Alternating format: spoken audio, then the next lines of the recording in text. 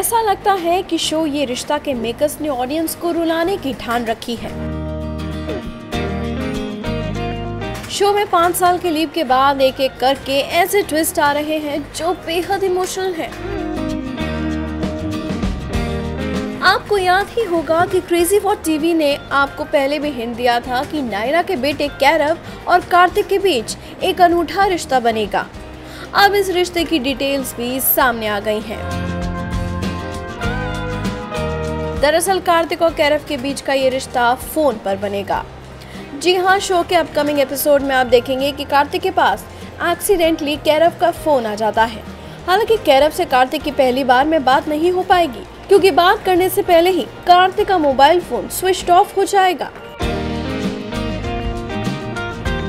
लेकिन इसके बावजूद कार्तिक उस बच्चे के साथ एक कनेक्शन महसूस करेगा।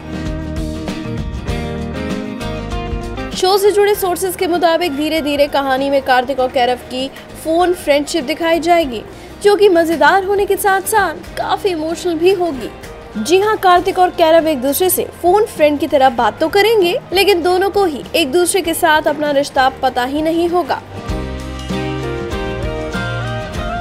कार्तिक कैरव से एक नजदीकी महसूस करेगा और उससे मिलना चाहेगा, लेकिन कैरव और कार्तिक मिल नहीं पाएँगे।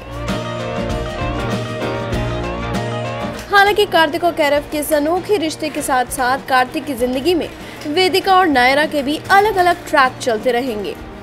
कुल मिलाकर शो की ऑडियंस अगले कुछ हफ्तों में हर तरफ़ एक इमोशनल माहौल देखेगी।